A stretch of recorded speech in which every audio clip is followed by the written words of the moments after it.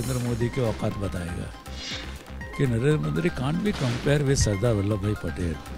ABP news के कैमरे पर मधुसूदन मिस्त्री का यही वो बयान है जिसने गुजरात में कांग्रेस की मुश्किलों में इजाफा कर दिया। दिल्ली से गुजरात तक खूब हंगामा मचा, जो कसर बाकी रह गई थी, वो पीएम मोदी ने सुरेंद्र नगर की रैली में पूरी कर दी। અરે તમે મને નીચ પણ કહ્યો નીચી જાતિનો પણ કહ્યો અરે તમે તો મને મોતનો સોદાગરો પણ કહ્યો અરે તમે તો મને ગંદી નાળીનો કીડો પણ કીધો બધું કીધું ભાઈ તમે બધું કીધું હવે તમે ઓકાત બતાવવા નીકળ્યા છો અમારી કોઈ ઓકાત નથી મહેરબાની કરીને વિકાસના મુદ્દાની ચર્ચા કરો पीएम मोदी के इस बयान पर जब एबीपी न्यूज ने मधुसूदन मिस्त्री की राय जाननी चाही तो उन्होंने अंग्रेजी के जुमले की आड़ में खुद को बचाने की कोशिश की कोई प्रतिक्रिया आपकी? जो औकात वाली बात आपने कही सर। Live it